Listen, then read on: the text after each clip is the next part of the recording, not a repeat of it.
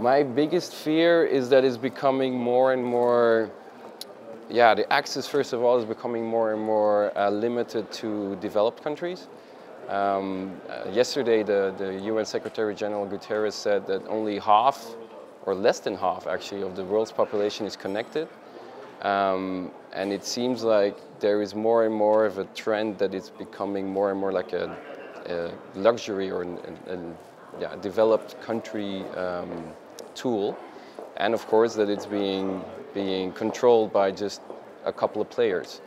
Um, but on the other hand, my biggest hope right now is that it allows people to connect. I mean, that was the biggest or the first um, mission, let's call it, of the internet.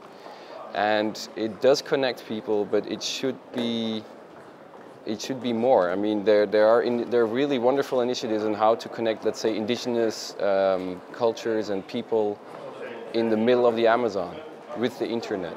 So that's beautiful in a way that you it, it shows that there is a yeah that we want to connect with everybody on the on online or at least in the world. But we need to always keep in mind that who are the gatekeepers and we need to make sure that those gatekeepers are all of us and not just the companies.